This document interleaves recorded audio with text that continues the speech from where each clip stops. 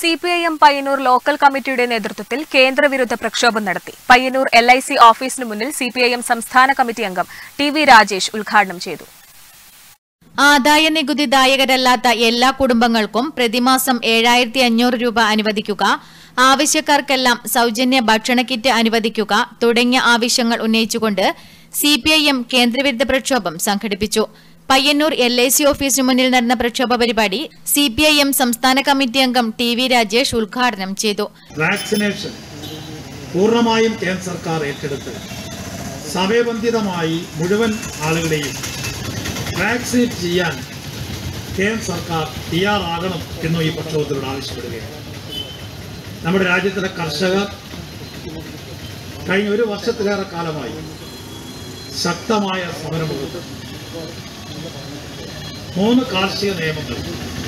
പാർലമെന്റിൽ വേണ്ടത്ര പരിശോധനയില്ലാതെ കേന്ദ്ര സർക്കാർ ധൃതി പിടിച്ച് പയ്യന്നൂർ ഏരിയ കമ്മിറ്റി അംഗം ടി വിശ്വനാഥൻ അധ്യക്ഷത വഹിച്ചു. Pothera Krishnan K K Krishnan M Sanjeevan K Satheesan തുടങ്ങിയവർ സംസാരിച്ചു. News bureau Payyanur.